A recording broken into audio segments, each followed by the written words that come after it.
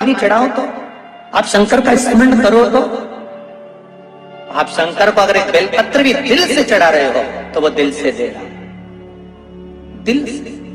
एक बहन ने तो पत्र में लिखा है गुरु जी एक बार मैं शिव मंदिर में किसी कार्य के लिए गई थी और वो कार्य बहुत ज़रूरी था, और आपने कहा था कि मंदिर की बेलपत्र उठाकर मंदिर में शिव जी को चढ़ा चढ़ा मंदिर गई तो बेलपत्र नहीं थी।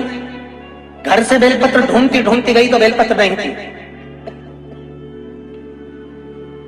आपने कहा था गुरुदेव, अगर बेलपत्र नीवी मिले तो अपने हाथ की ये तीन उंगली शंकर जी के शिवलिंग पर स्पर्श करा देना और शिव जी को कह देना कि बेलपत्र चढ़ा रही हूँ स्वीकार कर लेना।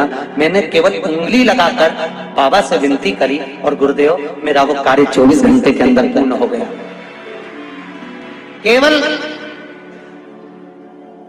उंगली का स्पर्श मात्र कर। उम्मीद है यह वीडियो आपको अच्छी लगी होगी। वीडियो अच्छी लगी हो तो इसे दूसरों के साथ भी शेयर करें, ताकि वे भी इस उपाय का लाभ उठा सके।